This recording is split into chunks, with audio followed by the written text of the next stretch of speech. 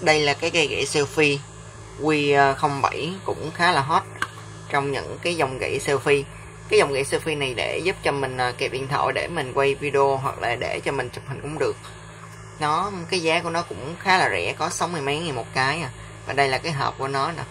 Cái mã sản phẩm là Q07 đây là cái hình của nó phía bên ngoài. Ở phía bên hông hộp á, thì có một số cái hình để hướng dẫn cho mình sử dụng. Cái tripod nhưng mà mình nghĩ là cũng không có cần phải đọc làm gì đâu. Bởi vì cái thứ nhất đó là tiếng Anh. Đó còn cái thứ hai nữa thì ờ, cái này cũng dễ dàng thôi.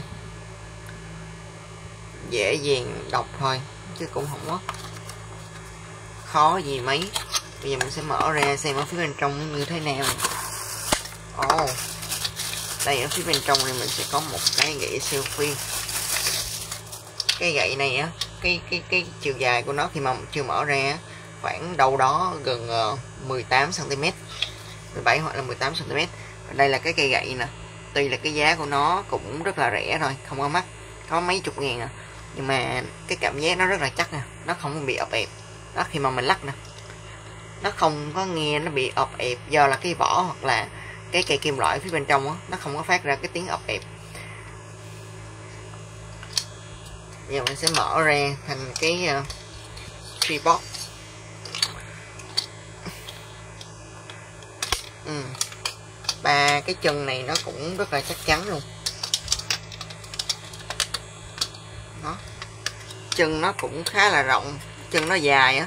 Ba cái chân của nó khá dài nên là sẽ giữ vị trí cố định cái điện thoại của mình tốt hơn.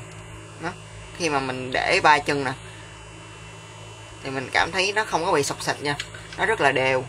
Nó không bị sọc sạch nhưng mà nếu như mà ba cái chân này á nó có lót thêm ờ, uh, silicon á thì sẽ tăng cái độ bám nó sẽ tốt hơn. Còn cái này để thì nó sẽ hơi trơn. Và đây là cái đầu để cho mình kẹp cái điện thoại. Đó cái đầu để cho mình kẹp điện thoại. Nó thiết kế theo cái dạng cong như vậy nè.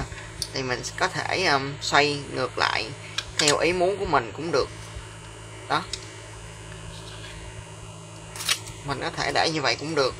Chứ còn một số dòng á thì nó chỉ à, đứng thẳng như vậy là hết đát rồi nó không có gập xuống như vậy được.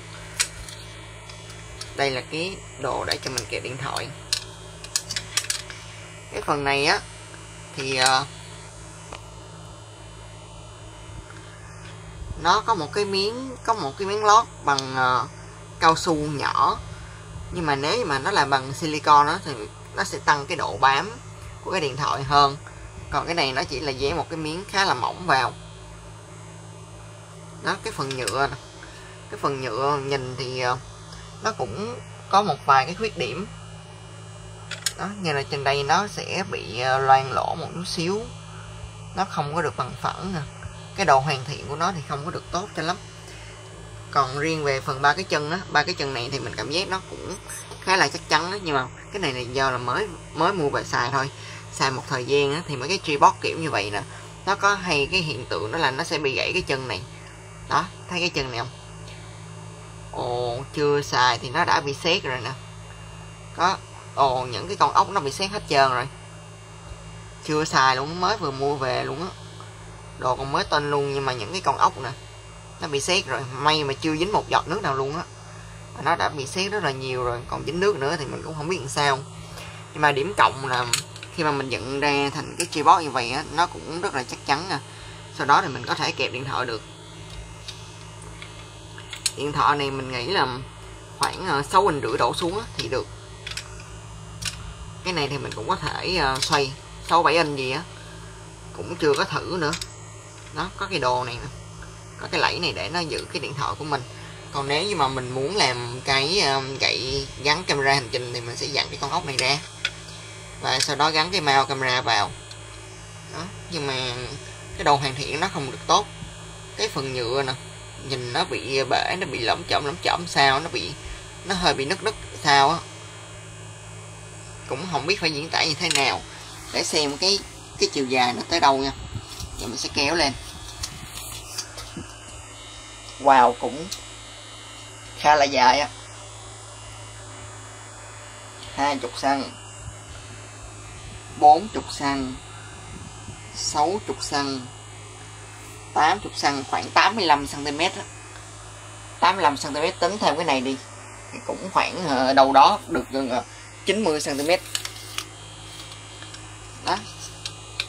Nó có ba cái chân này được cái nó cũng rất là chắc chắn nhưng mà lưu ý đó, đó là khi mà mình sử dụng á mình để mình không nên để ba cái chân này mà mình nên kéo cái chân kim loại này nè kéo cho nó xích xuống một chút xíu.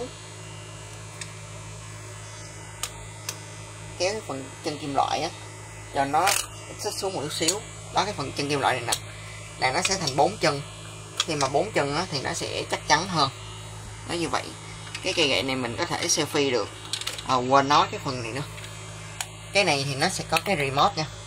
Cái remote này á, nó thiết kế phải nói là thiết kế cực kỳ ngu luôn. Ngu kinh hồn ngu luôn nè khi mà mình gắn vào cái phần cái remote này nó sẽ bị ờ, chồi lên nó sẽ bị hở lên. Và cái lẫy của nó gắn cái remote vào nó không có được chắc chắn đây là cái remote điều khiển từ xa. Để có thể sử dụng thì mình chỉ việc ờ, mình giữ cái nút thôi. Khi nào mà cái đèn xanh nó báo lên á là nó lên. Đó cái đèn xanh bên đây à. Mình kết nối cái điện thoại mình vào cái bluetooth này và mình có thể sử dụng để chụp hình quay phim thì cũng được. Nếu như mà mình không sử dụng á, thì mình sẽ gắn vào cái ờ, gắn vào á, thật sự ra thì ờ, nó giữ không có chặt đâu. Nó khá là dởm cái phần này cái thứ nhất là ừ, khó gắn nè. Còn cái thứ hai nữa là nó rất là lỏng lẻo. Nó không có được chắc chắn nha. Giả dụ mình gắn vậy đi. Đó mình gắn như vậy à nó trồi lên. Nó không có được sát xuống mà nó sẽ trồi lên như thế này lỡ nhiều mà mình bỏ vào trong túi sách hoặc là mình bỏ vào trong túi á nó sẽ bị cứng. Chỉ cần đẩy nhẹ cái nó rớt ra. Thì có nguy cơ là bị mất cái remote này bất kỳ lúc nào. Chỉ có cách khi mà mình sử dụng cái uh,